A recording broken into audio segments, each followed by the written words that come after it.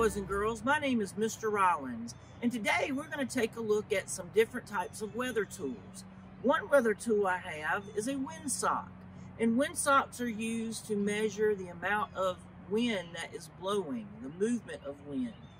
And wind is somewhat invisible, but we can see what it does with the movement of objects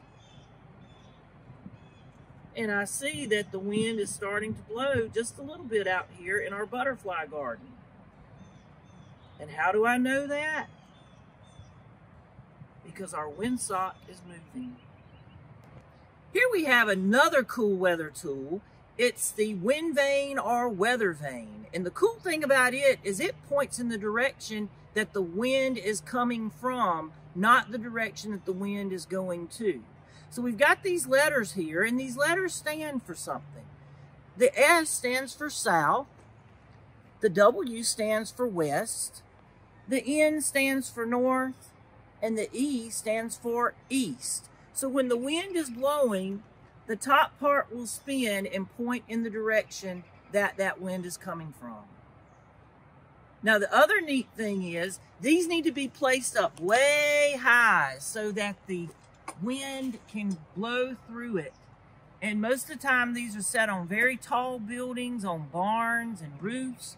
And um, so that way you can see where the wind is coming from. So here's our third weather tool, known as a rain gauge. And notice it has increments that we can measure precipitation, okay? The precipitation has to fall in the top of the rain gauge in order to be counted in the rain gauge.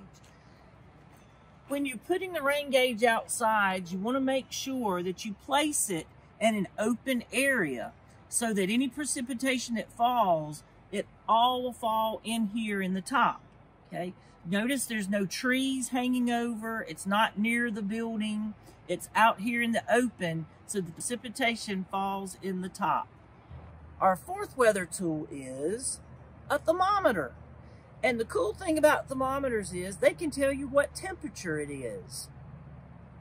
So the reason I'm under this tree with thermometers, you always want to place them in some place that has shade.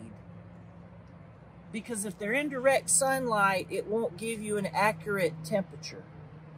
So we can put it right under this tree and we can come back and, and look at it later to see what the temperature is.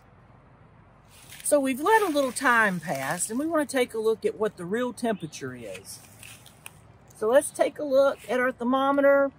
So here it says it's about 70 degrees Fahrenheit or about 20 degrees Celsius. And it is a cloudy day, so we know that the clouds are keeping the sun away, and that is a little cool for this spring day. So another fun way to know if air is moving is by using bubbles.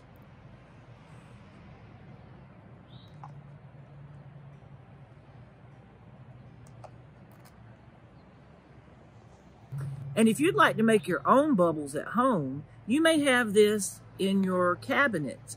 Here's Karo syrup and Dawn dishwashing liquid.